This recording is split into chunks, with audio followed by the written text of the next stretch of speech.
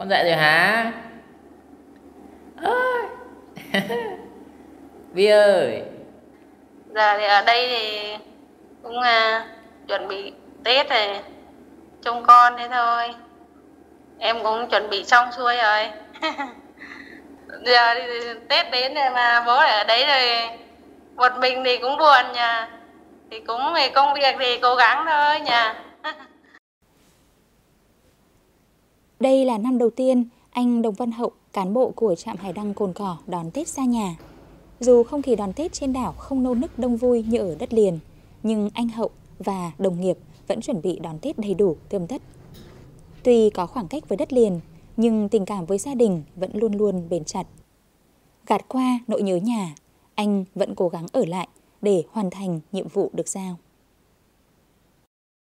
Thì tới đến xuân về thì tôi cảm thấy cũng ờ, rất là háo hức và bồn chồn để cùng đón Tết với mọi người. Nhưng mà vì một ờ, vì nhiệm vụ ờ, được giao và muốn, mong muốn mọi người trên đảo cũng như các tàu bè di chuyển trên biển được thuận lợi, an toàn nhất. Nên là chúng tôi cũng thay vì nỗi nhớ nhà thì để cũng cố gắng hoàn thành tốt các nhiệm vụ được giao để với mức ờ, tốt nhất để mọi người và các tàu bè di chuyển được ừ, thuận lợi an toàn.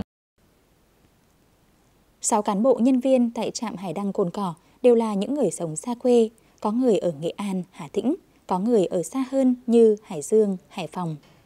Những ngày này, anh Hậu cùng một đồng nghiệp nữa được phân công trực Tết đảm nhiệm các việc lau chùi, bảo quản, bảo dưỡng đèn hải đăng thường xuyên trong điều kiện khí hậu khắc nghiệt, tránh cho ngọn hải đăng bị chập, cháy.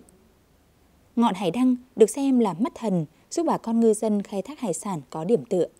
Những lúc ghe tàu bị mất định vị, hỏng máy trong đêm tối, chỉ cần nhìn thấy ánh sáng của ngọn hải đăng là ngư dân có thể yên tâm và không bao giờ lo lạc đường. Chính bởi vậy, dù bất kỳ thời điểm nào, những người canh gác đèn biển vẫn đang nỗ lực thầm lặng để ngọn hải đăng phát sáng, dẫn lối cho bà con ngư dân.